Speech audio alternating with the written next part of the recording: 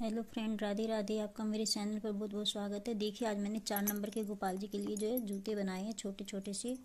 ये देखिए, कितने प्यारे लग रहे हैं। ये देखिए। ये देखिए छोटे छोटे से जूते कितने प्यारे लग रहे हैं। आप देख पा रहे होंगे, ये चार नंबर के गोपाल जी के हैं। इनको मैं देखिए आपको पहना के दिखा देती हूँ। आप कभी कहीं कि नहीं आएँगे नहीं, देखिए चार नंबर के गोपाल जी के कितने प्यारे जूते हैं, इन्हें मैं आपको पहना के दिखाती हूँ। देखिए, मेरे गोपाल जी को मैंने जो है जूते बनाए हैं।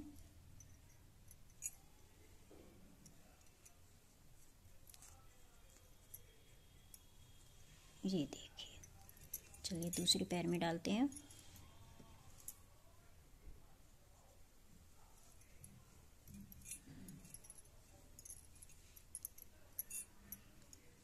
ये देखिए।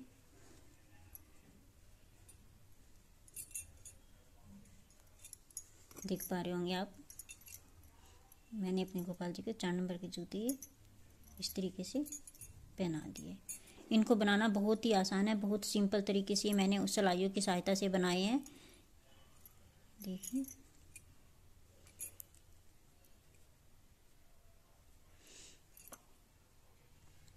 चार नंबर के गोपाल जी के जूते, इनको सिलाइयों की सहायता से मैंने बहुत ही आसान तरीके से बनाए हैं। बनाना बहुत ईजी है इनको।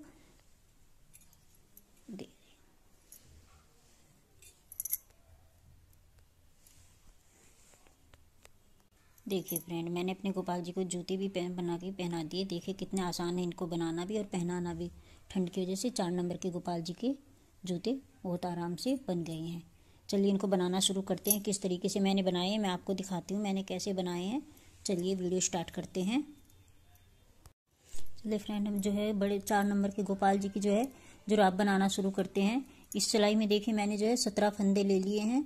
सत्रह फंदे से दो एक, दो, तीन, चार, पाँच, छ, सात, आठ, नौ, दस, ग्यारह, बारह, तेरह, पंद्रह, सोलह, सत्रह। इसमें मैंने जो है सत्रह फंदे ले लिए अब हम चार नंबर के गोपाल जी की जो है पैरों के जूते बना रहे हैं।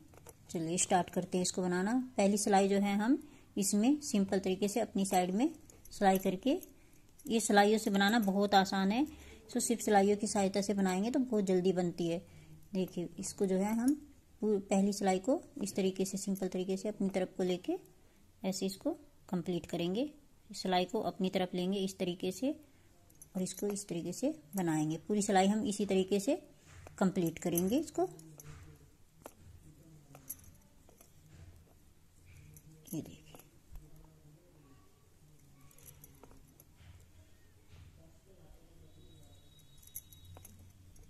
इसको हम पूरी सिलाई को इसी तरीके से जिन बहनों को सिलाइयों से बना, स्वेटर, जर्सी वगैरह बनाती है, उनके लिए बहुत आसान है। सिलाइयों से बनाना बहुत ज़्यादा आसान है।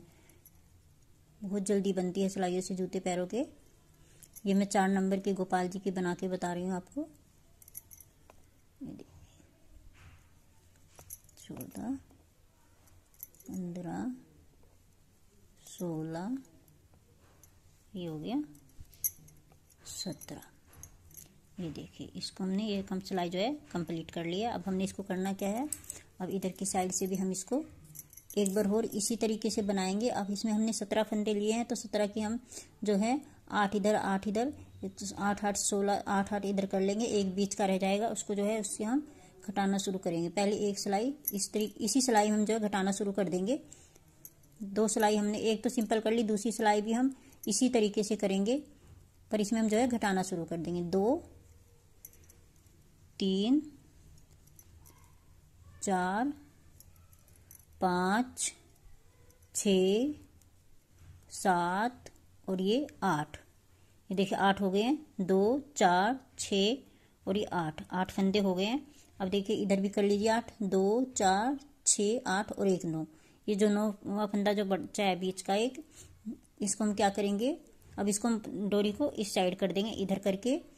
अब हम ये तीन फंदे जो है, जैसे बहुत सी औरतें जानती होंगी जो स्वेटर बनाती है, जैसे हम बीच का गला करते हैं घटाते हैं, उसी तरीके से हम इसको घटाएँगे। हम ये तीन फंदे जो है, देखिए, तीन फंदों को हम इस सिलाई में इस तरीके से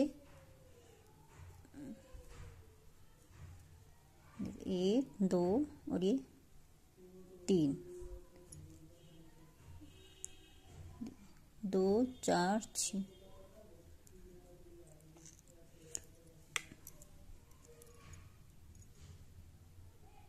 इधर सात रखेंगे। दो, चार छ सात हो गए। तो एक आठवां इधर का, आठवां इधर का बीच का नौवा तो इन तीन फंदों को हम लेंगे। आठ, ये और ये। इन तीन फंदों को हमने जो है इस तरीके से उतार लिया है। अब हमने करना क्या है? अब हम बीच का फंद बाद का फंदा जो है इसको, ये देखिए, पीछे वाला फंदा पहले लेंगे। देखिए, इस तरीके से। और इन दो फंदे जो आगे जो दो फंदे उतरे इनको इस सिलाई में हम इस तरीके से भर लेंगे। ये देखिए। अब इसको हमने क्या करना है? इसको इसमें लेना है और इसको इस तरीके से इसमें डाल देना है। अब ये धागे को हमने इधर की साइड लेके इन तीनों फंदों को घटा देना है एक साथ। तीनों फंदों को एक साथ घटाना है। एक, दो और ये तीन। तीनों फंदों को हमने एक साइड ऐसे घटा देना है। ये देखिए, घट गए। अब देखिए, इधर कितने फंदे बचे? दो, चार छः सात। सात इधर हो गए और सात इधर बचे। ये तीन फंदे हमने एक साथ घटा दिए, फिर इसको इसको ऐसे लेंगे और इन फंदों को हम बना लेंगे ऐसे, अपनी साइड करके इस तरीके से बनाएँगे। ये दो सिलाई हमने इस तरीके से किए तो ये पैर के नीचे का जो हिस्सा आता है, उधर की साइड है। अब ये सिलाई हम पीछे की सिलाई को सिंपल इसी तरीके से उतारेंगे। ये देखिए, पीछे सिलाई हम इस तरीके से पूरी सिलाई पूरी सिलाई को हम इसी तरीके से उतार लेंगे। इसको बनाना बहुत आसान है, ज़्यादा मुश्किल भी नहीं, सिर्फ़ छः सात सिलाइयों में कंप्लीट हो जाती है। ये देखिए, ये हो गया। पूरी सिलाई हमने इस तरीके से कंप्लीट कर ली है।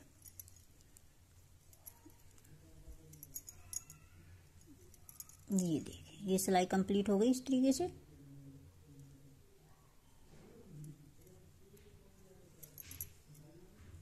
ये देख पा रहे होंगे, बीच का फंदा जो है, ये है। पंजा जो होता है ना आगे का, उस, उधर से ऐसे बनता जाएगा। अब इधर हो गया। अब दो सिलाई जो हमने इस तरीके से की थी, अब इसको हम जो सीधी तरीके से करेंगे। क्योंकि नीचे सिलाई में आ जाता है तो इसको हम जो है, अब इसको इस तरीके से बनाएँगे। ऐसे करके इसको इधर की तरफ़, आगे की तरफ़ वो करके सिलाई को ऐसे बीनेंगे इसको।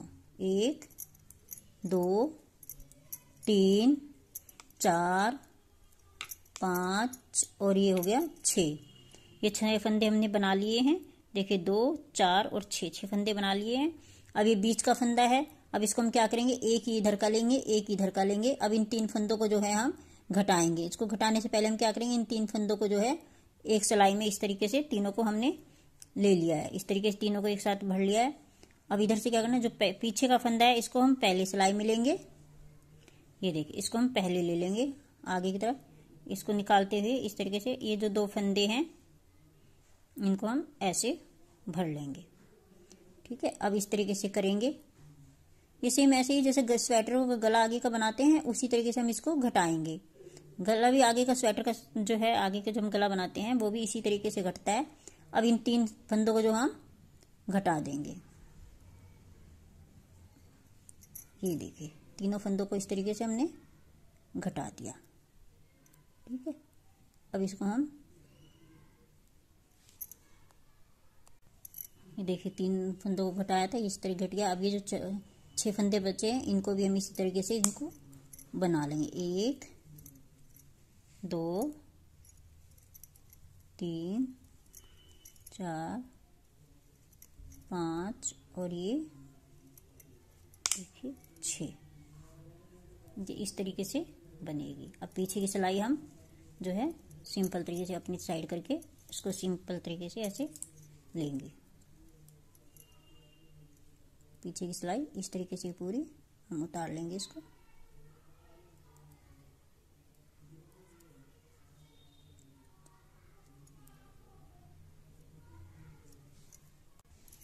पीछे की सिलाई बिल्कुल इस तरीके से हम इसको पूरी सिलाई को इस तरीके से कंप्लीट कर देंगे।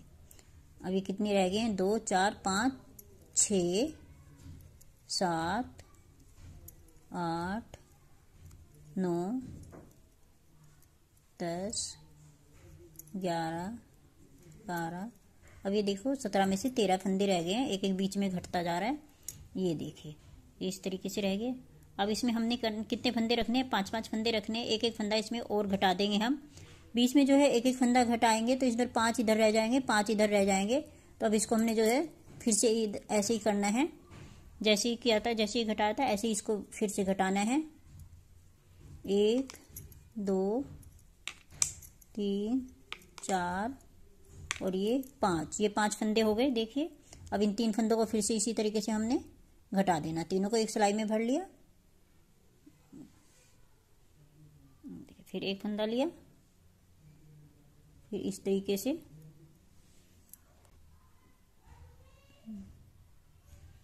देखिए, तीनों फंदे एक साथ घट गए फिर। ये देखिए जो है, इस तरीके से इसको हमने घटा दिया है। अब ये पाँच फंदे रह गए, इनको भी इसी तरीके से हम जो है बनाएँगे। ये देखिए, एक, दो, तीन, चार और ये पाँच। ये देखिए इस तरीके से बन गई। अब हम इन सब फंदों को घटाना शुरू कर देंगे। ये चार नंबर की गोपाल जी की तो सिर्फ़ इसमें हमने क्या है पाँच छह सिलाई हाथ फिराया पाँच छह सिलाइयों में जो है जुराब तैयार हो जाती है। अब इनको जो हम इस तरीके से घटाएँगे। दो फंदों का एक। देखिए, दो का एक करेंगे। अपनी साइड लेके करनी है, इधर को। ये देखिए। फिर इस फंदे को इधर कर, इसमें डालेंगे, फिर घटाएँगे इसको। इस तरीके से हमने पूरे कंप्लीट कर देना है। ये देखिए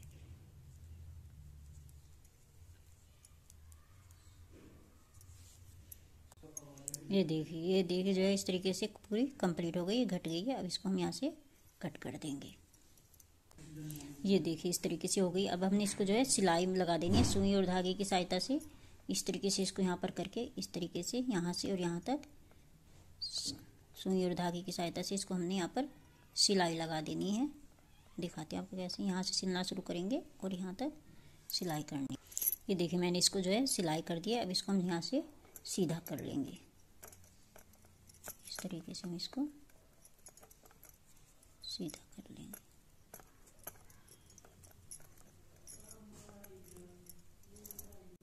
ये देखिए, सीधा करके जो जो है छोटी सी गोपाल जी की जो है, चार नंबर की गोपाल जी की जो है, सोक्स तैयार हो गई।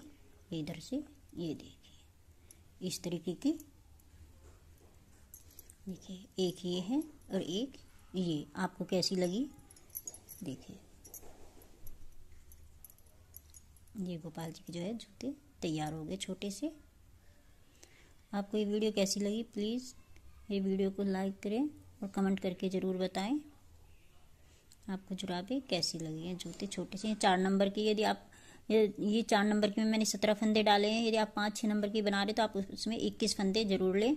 इक्कीस बीस नहीं, इक्कीस फंदे ज़रूर लें और उससे भी बहुत अच्छी जुराबें बनेंगी।